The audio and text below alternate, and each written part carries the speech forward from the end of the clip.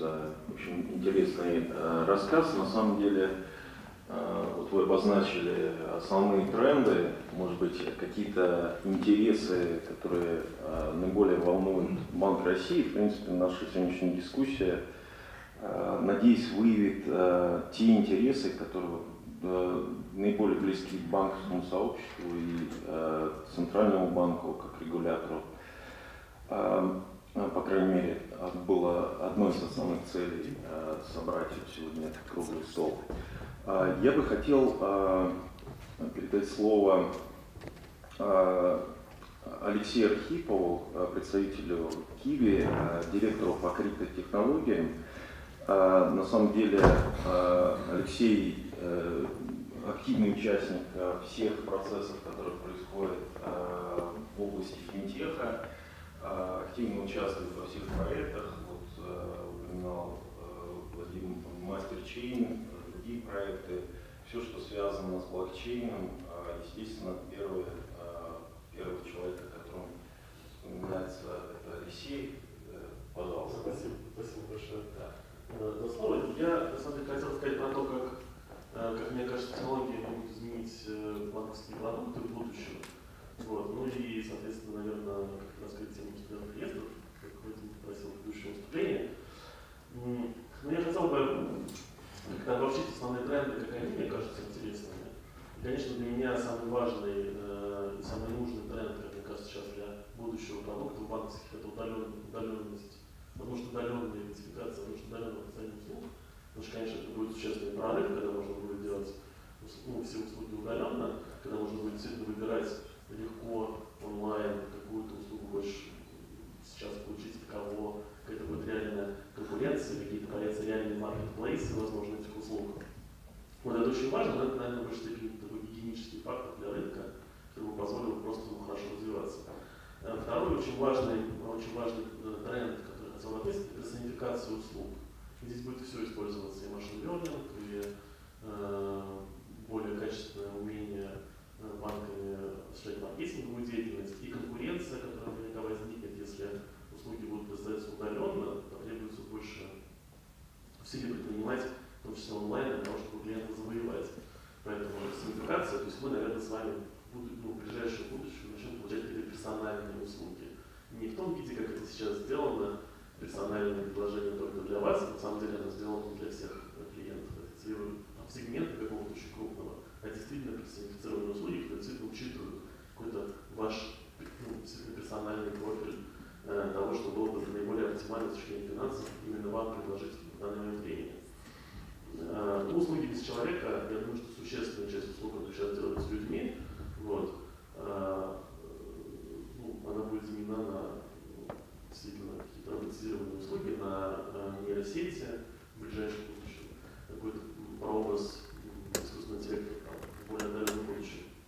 Вот. Но э, то, чем я занимаюсь, что мне наиболее интересно, это, конечно, э, превращение банков в платформы.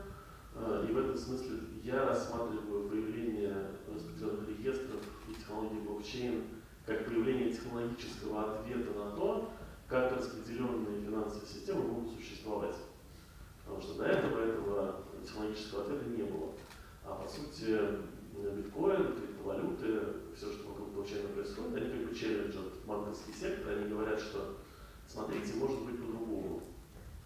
Не обязательно все должно быть э, вертикально как интегрировано, могут быть какие-то распределенные системы и прочее. Пока это просто челлендж, то есть существенного, существенной доли экономики существенного количества реализованных массовых продуктов на распределенных реестрах блокчейне пока нет, но этот технологический ответ получен, и понятно, как это может функционировать. Мне кажется, это очень ценно, потому что, э, ну, наверное, первые самолеты, там, когда интернет тоже плохо летали, и интернет не летал, очевидно, но, по крайней мере, понятен путь, как это технологически может быть сделано.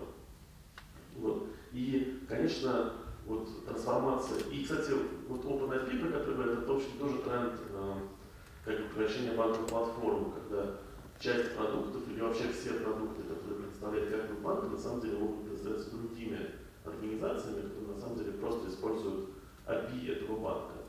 Вот. И вот с точки зрения того, как это отразится на нас и на продуктах, э, если банки действительно этот путь э, превращения платформы платформу преодолеют, вот, или появятся какие-то другие платформы, существует там, не, не, из банка, не банк является смыслом, а просто платформа появится. Вот. А в этом случае, конечно, нам и клиентам мы сможем дать гораздо больше услуг, чем сейчас, потому что открытая платформа API и конкуренция между теми, кто делает специализированные продукты, позволит, конечно, существенную высокости в качестве. Вот. И э, я думаю, что будет появляться очень много таких продуктов, таких нишевых, которые сейчас банки просто не в состоянии себе позволить создать, потому что у них нет на это ресурса и фокуса на это нет. Потому что они ориентированы на то, чтобы создавать продукты для массового сегмента, для массового какого-то сектора, и не могут сделать какой-то нишевой совсем продукт. А вот эта платформенность, то есть возможность самим разрабатывать продукты для клиентов банка какими-то стартапами или не стартапами, просто компаниями, позволит, конечно, создать э, огромное количество очень интересных нишевых финансовых продуктов. И мне бы, конечно, хотелось бы это все увидеть, потому что, мне кажется, будет интересно всем, в том числе клиентам. Вот э, в целом я так вижу процесс трансформации э, сектора, э, ну, в том числе в части распределенных реестров.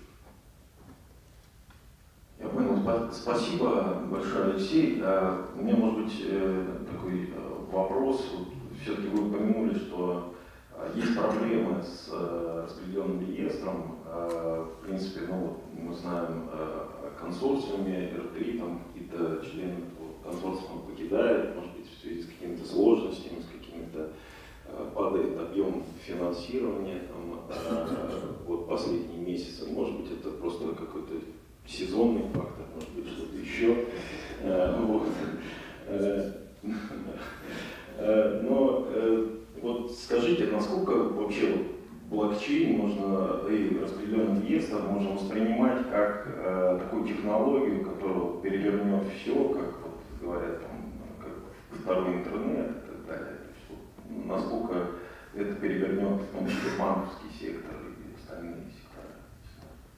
Ну, в части, первой, первой части вопроса, касающейся три других организаций, э, мне кажется перспективным, очень перспективным подход э, внедрения распределенных реестров через банковские объединения, потому что э, все такие подходы, они очень будут длительные и сложные, и в том числе с точки зрения регулирования. Мне подход кажется очень перспективным, и проблемы R3, мне кажется, локальными, потому что пока альтернативы R3 с точки зрения именно банковских объединений, где банки направлены объединять для того, чтобы тестировать блокчейн, э, э, на глобальном уровне нет. Есть российский аналог, но есть там, другие группы, норвежские, японские, но такого глобального просто альтернативы нет.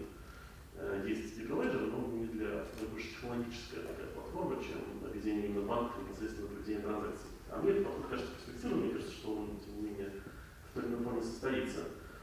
В части того, Поменяет ли это как-то фундаментально ну, технологии и, и, и жизни? Здесь э, есть риск завышенных ожиданий. Вот.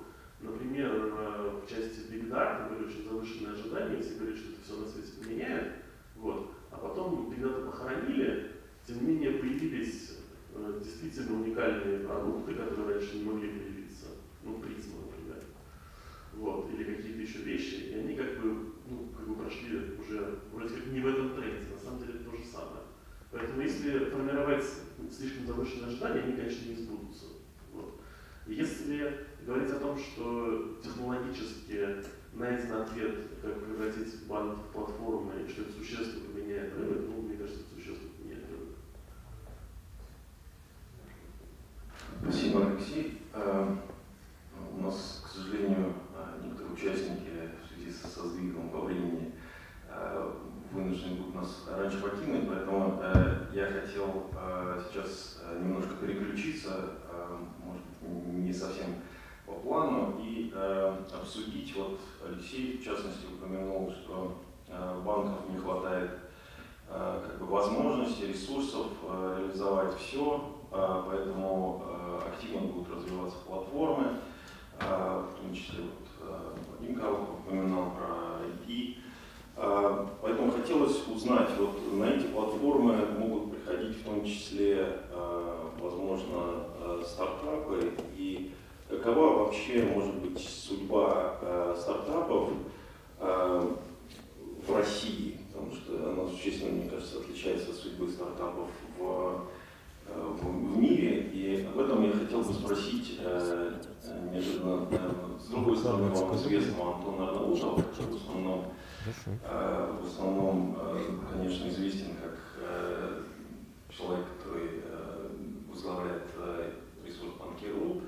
а, и брал часто интервью присутствующих здесь. Э, но